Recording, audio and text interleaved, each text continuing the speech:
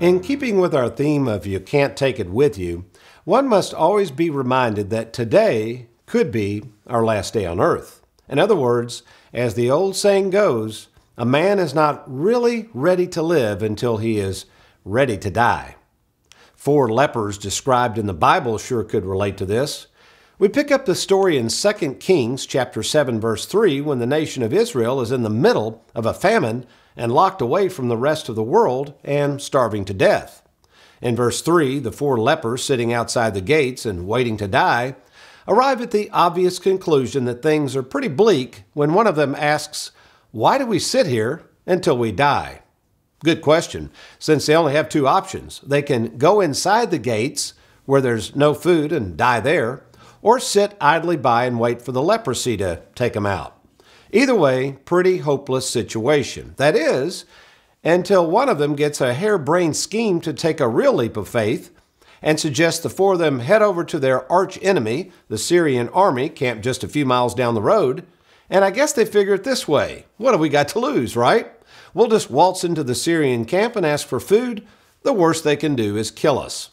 So they take action, they get up, they walk by faith toward the Syrian encampment, and lo and behold, unbeknownst to the four lepers, as they are walking towards the camp, the Lord causes the Syrians to hear loud chariots coming their way, and in great fear, the entire Syrian army abandons the camps, heads for the hills, and leaves all of their goods for these four lucky lepers to plunder.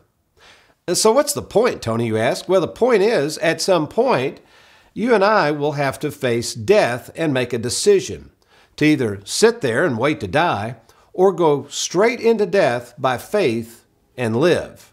And how, you ask, might we find life by dying?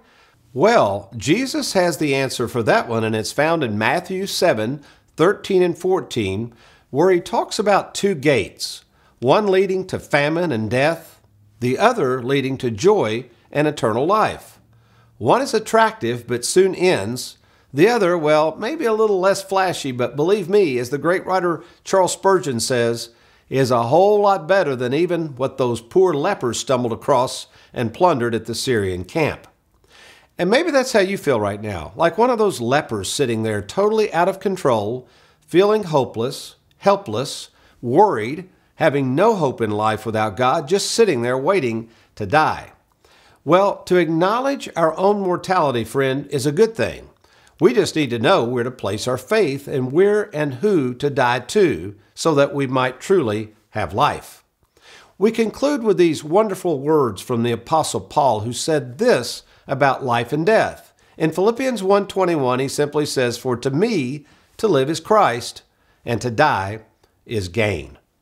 In other words, you want to live and gain the whole world? Don't follow the herd and enter by the wide and unpredictable gate offered by the world but rather slip on in through the narrow gate offered by Christ.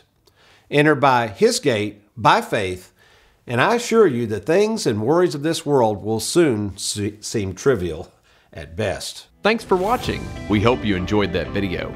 If you'd like, check out these other clips. And be sure to hit that like button and that subscribe button for more videos.